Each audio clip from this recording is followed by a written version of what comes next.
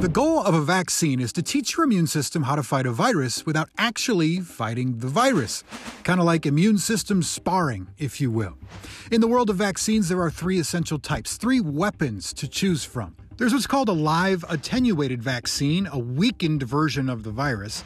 There's inactivated vaccine, which uses a dead version of the virus to trigger immunities, and subunit vaccine, which uses a synthetic piece of the germ, like its protein or sugar, to trigger antibodies. We're talking about taking a nine year process down to a one year process.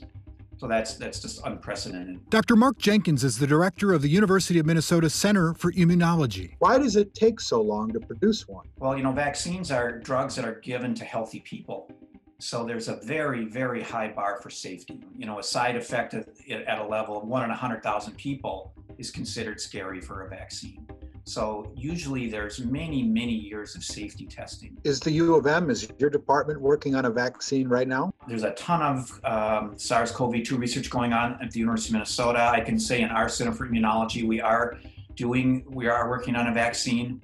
Um, you know, there's, we have a lot of company I think there's eight ongoing trials now. There's 70 more trials that are in the works. Where are you in the process? We're at the point where now we're going to be giving these vaccines to animals.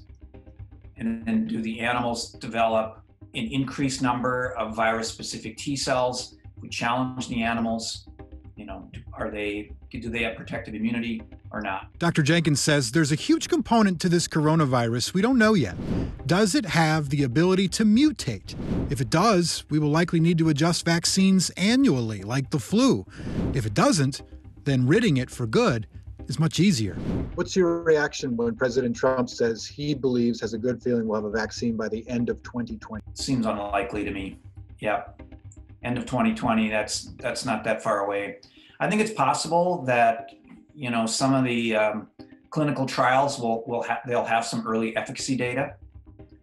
I, I think that's possible, and then of course one would be faced with an enormous scale up to produce you know millions and millions and millions of doses of the vaccine. In your expert opinion, how Thank long you. do you think it'll take to make a vaccine?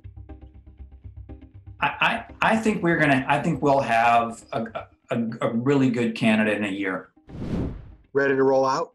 Ready to roll out.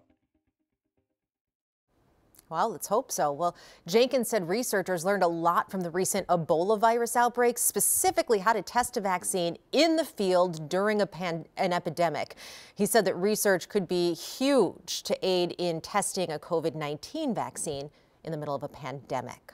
Well, the federal government wants the money.